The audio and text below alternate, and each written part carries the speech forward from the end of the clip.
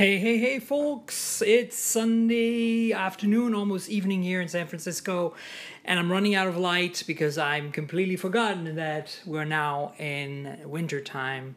But I want to quickly unbox this the Phab 2 Pro from Lenovo, the first phone on the market with Google's Tango technology. So, are you ready? This is a big deal. And I mean that literally. This phone is massive. So check it out.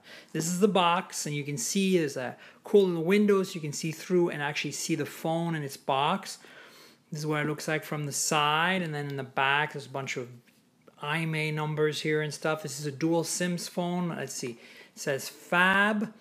And then, uh, yeah, not much on this end. Uh, the Lenovo logo here, Phab logo. Yeah, that's it. So let's open her up and go from there. Dun dun dun dun dun. Look at that. That is a big freaking phone, guys. Massive phone. In fact, you probably don't realize how big this phone is in the video, but I'll show you in a second. Let's see what else is in the box before we get to the actual phone. So there's a charger here, I think, it looks like. Uh, we've got, oh, this looks almost exactly like the charger for the um, yoga book I'm reviewing. Uh, if it doesn't want to come out. It's a 12 volt, 9 volt, 5 volt, 2 amp charger uh, with a regular USB connector on one end, type A, and as you can see here, standard US prongs. And it comes with, you know, micro USB. So this is a micro USB cable that's in there somewhere. We'll find it at some point. Then we've got I think it's in here. Cables. No, that's just manuals, I guess.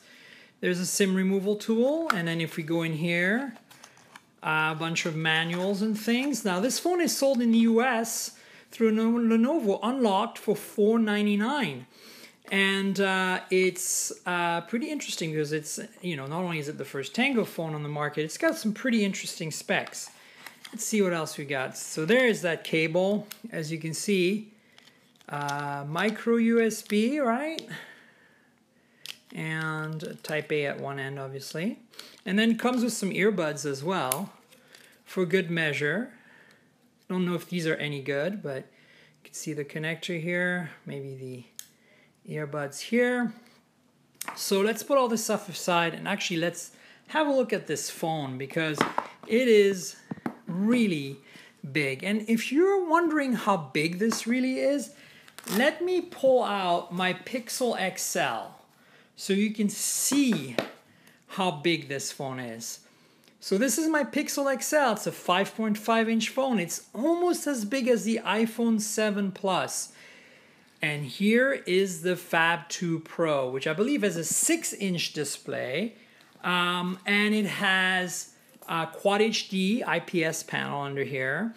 And then uh, it's not the thinnest phone, it's actually about almost a centimeter thick at the thickest, about nine millimeters and a bit.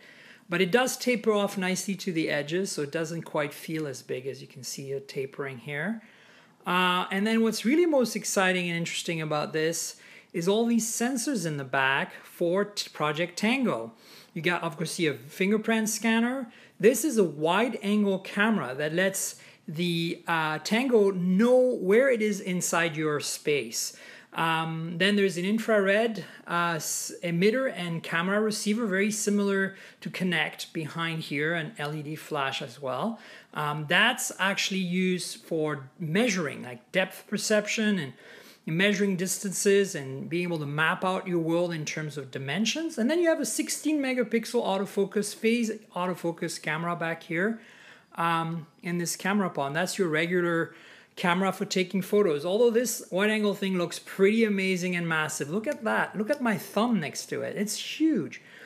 It is not the main camera. So uh, let me kind of peel off these stickers. You know I love... Oh, the sound of peeling off stickers.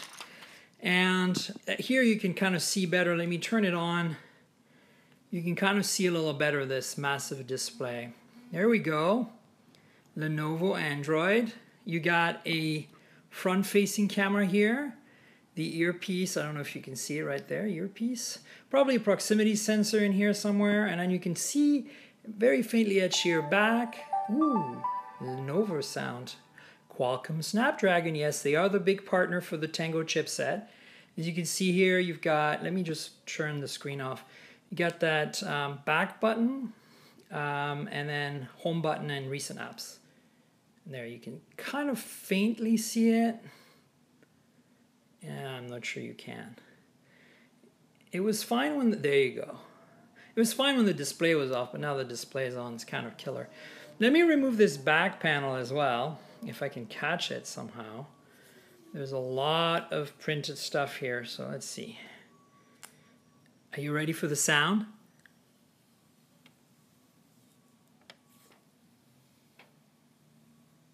Oh yeah, that sound. I don't know if you could hear it, hear it there. I'm gonna have to remove this sticker too, but I'm not gonna do it right now.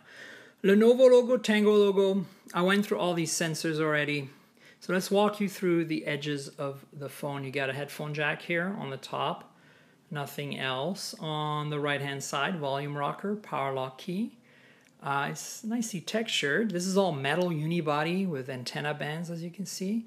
And then here you have, uh, I guess, maybe one or two speakers, not sure if this is stereo, and the micro USB charge and data port. And then on the left hand side, is a SIM tray that I believe takes two nano SIMs or one nano SIM and micro SD. So you can have kind of either extra storage or um, two SIMs, depending on what you want to do. And again, this is a big freaking phone.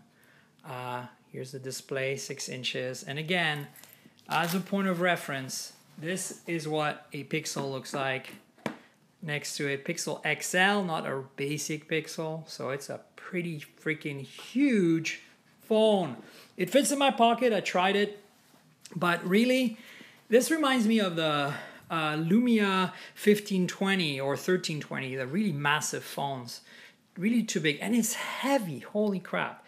So anyway, I've turned it on. I've shown you quickly around the lay of the land. I'm going to review this for ChipChick. So keep an eye on uh, chipchick.com for this coming out in the next uh, couple of weeks or so. Uh, you know, I do some phone reviews there.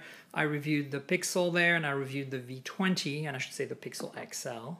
Yeah, very. This is very nicely made, but man, it's big and heavy. I mean, I have big hands. and I don't know if you realize how big and heavy this thing is. It's kind of crazy. Um, so yeah, I'm very excited to try out Tango and see what it brings to the equation in terms of augmented or mixed reality. Um, again, this is a big phone because it has a lot of this Tango technology. There's a Snapdragon, I think it's 645 yeah, you know, live video, so you guys can correct me if I'm wrong. Um, that's optimized for Tango, 4 gigs of RAM. I believe it's 64 gigs of built-in storage. It's pretty high end. I mean, for 499, if you're looking for a big screen phone that works in the US, if you can muster the weight and size of this thing, it is definitely uh, worth checking out at price point. I think, uh, especially if you're curious to explore this Project Tango sensor madness back here. So there you have it, the uh, Phab 2 Pro. That's quite the handful of a name. Personally, not a biggest fan of that name, but um, it's Fat, P-H-A-T, and it's Phab, P-H-A-B, right? Uh, so there you go. Uh, stay tuned for more on this phone as soon as I get a chance to uh, you know, review it and get a feel for what Project Tango brings to the table. And uh, I'll try to make another video at some point later on. In the meantime, check out all my other videos, subscribe down here, like the video, all that good stuff. And, uh, you know, stay tuned for more. I, I'll talk to you later. The light is dying, so I'd better stop this video soon. All right, take care, guys. Uh, again, subscribe, like, watch my other videos, and stay tuned for more. The Phab 2 Pro from Lenovo. Cheers!